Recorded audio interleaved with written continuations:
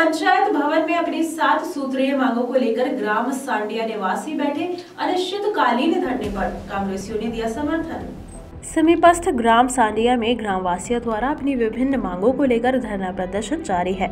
आज धरना प्रदर्शन का दूसरा दिन है, मगर अभी तक कोई संबंधित अधिकारी या जनप्रतिनिधि धरना स्थल नहीं पहुँचा है। वहीं विपक्ष पार्टी ने ग्राम सांडिया पहुँचा, ग्रामीणों के साथ धरना प्रदर्शन में सहयोग दिया। आपको बता दें कि ग्रामवासी अपनी सात सूत्रीय मांगों को लेकर ग्राम पंचायत भवन के सामने धरना दे रहे हैं, जिसके द्वारा अनुरोध किया जा रहा है पात्र हितग्राहियों के प्रधानमंत्री आवास सूची में नाम जोड़े जाए। वंचितों को समय सीमा में पट्टे दिए जाए एवं गरीबी रेखा सूची में जोड़ा जाए।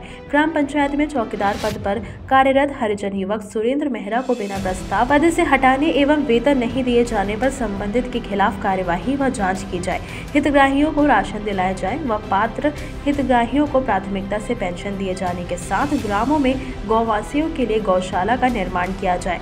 ग्राम सांडिया में कॉलेज का निर्माण हो, जिससे आसपास के ग्रामीण क्षेत्र के छात्र लाभ पा सके।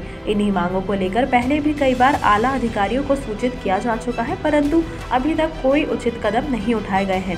विवश होकर ग्रामीणों द्वारा अनिश्चितकालीन धरना प्रदर्शन किया जा रहा है। अगर समय रहते मांगे पूरी नहीं की जाती तो धरना प्रदर्शन जारी रख विरोध प्रदर्शन किया जाएगा।